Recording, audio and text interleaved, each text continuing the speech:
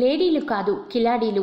భద్రాద్రి కొత్తగూడెం జిల్లా అశ్వారావుపేట మండలంలో పట్టపగలు ముగ్గురు ఆడవాళ్ళు పలు దొంగతనాలకు పాల్పడ్డారు. అశ్వారావుపేట మండలం బిల్లుడిగూడెం గ్రామానికి చెందిన జెట్టి మంగమ్మ అనే మహిళ అశ్వారావుపేట మండలం వినాయకపురం యూనియన్ బ్యాంక్ నందు ముప్పై వేలు డిపాజిట్ చేసుకుందామని వచ్చింది. ఆమె డబ్బులు లెక్క చేయడం చూసిన ముగ్గురు మహిళలు ఆమె క్యాషియర్ దగ్గరకు వెళ్ళేలోగా క్యూలో నిలబడగానే చుట్టుముట్టి చేతిలో ఉన్న సంచిని కోసి డబ్బులు కొట్టేశారు.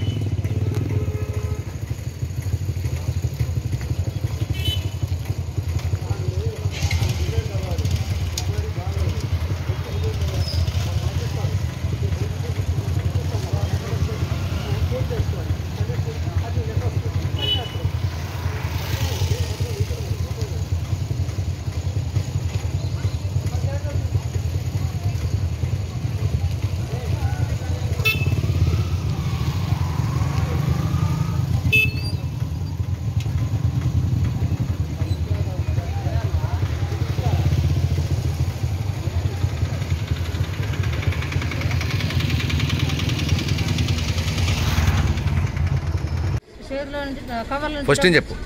ఫస్ట్ నుంచి చెప్పాను? చేసిన డబ్బులు బ్యాంక్ దగ్గర దాచుకుందాం అనేసి వెళ్ళాను.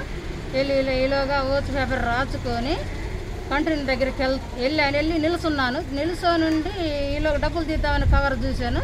ఎమ్మటి కోసేసారు అప్- అప్పుడు ఆరేసేసాను నేను. సార్ దగ్గరికి వెళ్ళాను.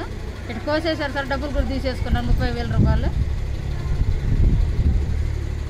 పోలీస్ స్టేషన్లో కంప్లైంట్ ఇచ్చారా? ఇవ్వలేదు సార్ ఇంకా. నిన్న ఇరవై ఇరవై తారీఖు